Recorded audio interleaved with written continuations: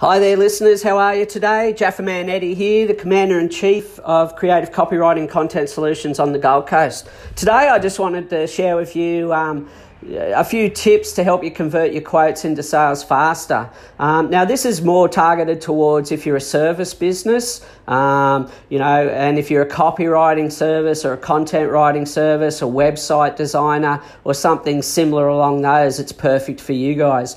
So, you know, the first tip I'd have to give you is have a template. Now, I know that sounds bleeding obvious, but a lot of people overlook the obvious. So, always have a quote or proposal template. Okay, um, it saves you having to you know go back and forward and redo it each and every time. Um, the second tip I'd give you is one thing that we do is we include our prospects logo on on their costings. Yeah, um, customers love seeing their logo alongside yours and on their quote, and it's one of those little things that make a big difference. Um, in business, as far as I'm concerned, it also shows that you've gone to their website, um, scoped them out, had a look, learn a little bit about them, and that's important in this day and age. Tip number three would be credibility. Now, one thing I started using, I've been using these tips for probably 12 years or so now, um, because I used to have single page proposals, but they're about as useful as an ashtray on a motorbike. So these days, I make sure my quotes or proposals have at least one testimonial on it. Now, this adds credibility and social proof yeah. And these days, social proof is everything, yeah. Um, recent projects would be another tip, you know. Um, if you're writing um, or doing a proposal to do some website copywriting, try and include a few previous projects on your quote with links as to who you wrote the copy for. Um, you know, it's what we call, as you know, putting your prospect in the picture so they can see, you know, um, some of the website copy you've wrote for an example. Uh, the next tip I could give you is standard versus deluxe pricing. Now, we all know different customers have different needs, different wants, different budgets, and different outcomes, yeah? So, what I tend to do is include a standard and a deluxe pricing. Now, the standard might not might be something as simple as uh, the client wants to proofread the copy themselves, yeah? Um, some clients will tell you that, or I'll ask them that at the first um, call when they first contact us, but some aren't sure. Some want a price on both. So a standard pricing would be, you know, DIY proofreading. Uh, a lot of clients that we have um, proofread the copy themselves solely because they either like to do it themselves, they have staff to do it, um, or they want to save money.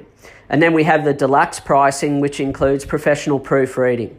Um, you know, um, basically, and that and that's it. I mean, so the thing about standard and deluxe pricing that you need to be aware of is don't make your deluxe offer more than fifty percent of the standard offer.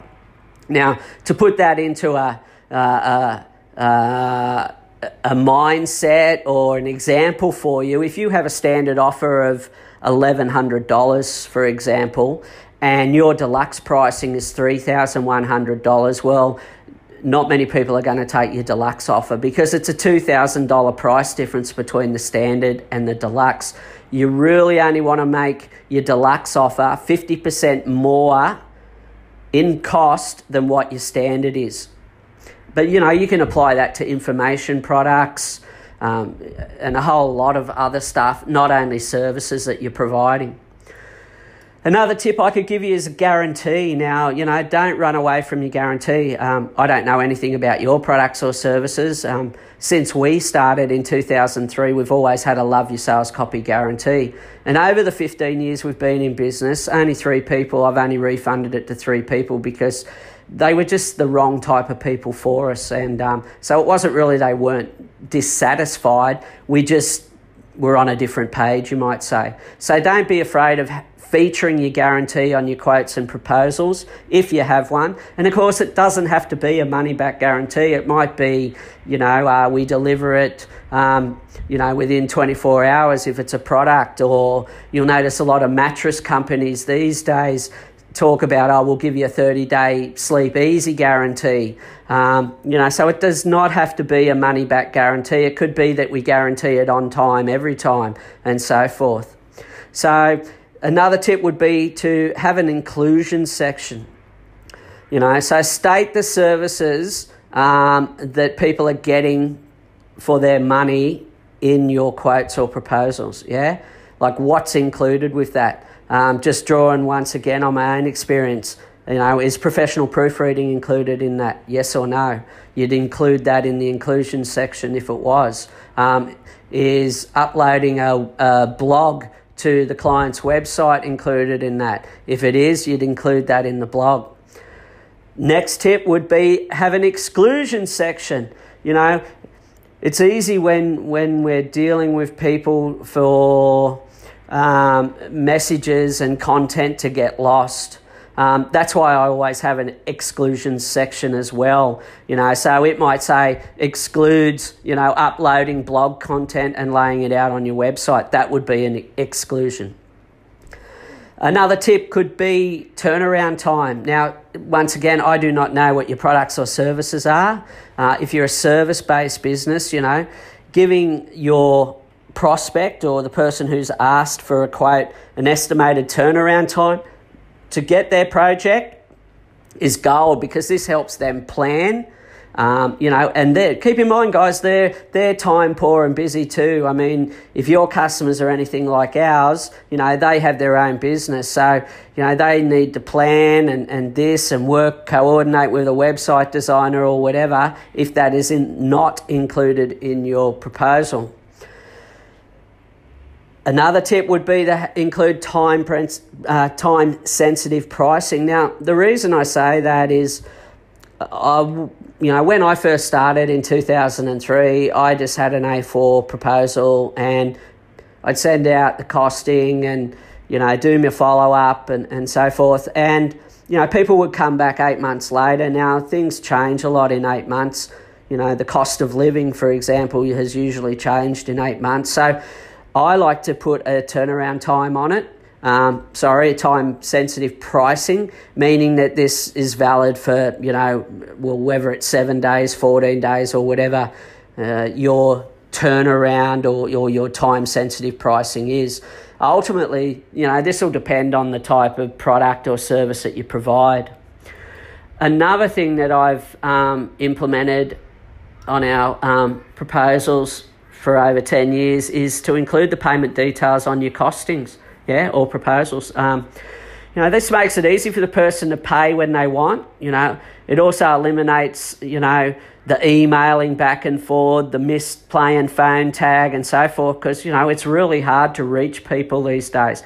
And that probably falls into, you know, the tip I just gave you before that subject to what your customers business is, you know, they're time poor running their own business as well. So we need to make it easy for them. And I found by including the payment terms on my quotes, you know, 80% of our clients just use that, pay it, I've received the money, and then we just issue them their tax invoice. Another quick tip would be to sort of bullet point how their project comes to life. Now, even if you spoke with them over the phone, you know, always include a section on how their project comes to life. So that would, you know, be payment terms, that would be the proofreading scenario if you so desire. And ultimately, you know, this is more aimed towards first time clients. A lot of our work comes from referral and repeat business. So, what I'm saying is how you um, work with a repeat customer as opposed to an acquisition or a new customer is different. So, these tips are really good solely for the first time customer. So, on your quotes and proposals, include how their project comes to life. Last but not least, I'd have to say always tell them what they need to do next to, you know, pull the trigger on your costing or proposal. Now, I'm a direct response copywriter uh, by trade.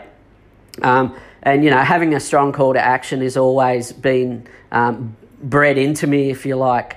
Um, you know, if you've got a special price for the next seven days, make them aware of that in your call to action or in your email when you send it to them. You know, always, always tell people what they need to do next um, to make the process simple for them and for you.